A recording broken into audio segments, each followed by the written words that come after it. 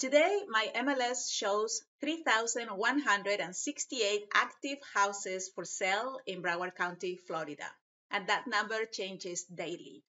Out of that number, 2,075 houses are priced under a million dollars.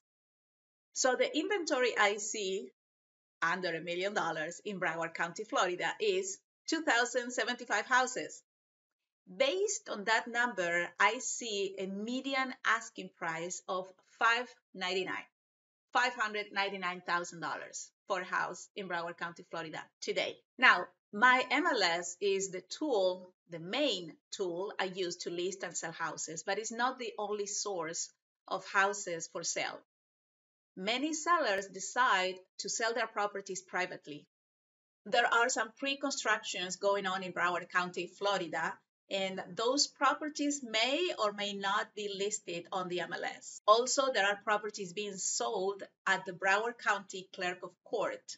They could be bank foreclosures or tax deed auctions, which are very different. But those properties are not listed on the MLS. Depending on your real estate goal, you have different options. If you're ready to make a move, call me. Let's talk about the most important market, the one that is happening on your block.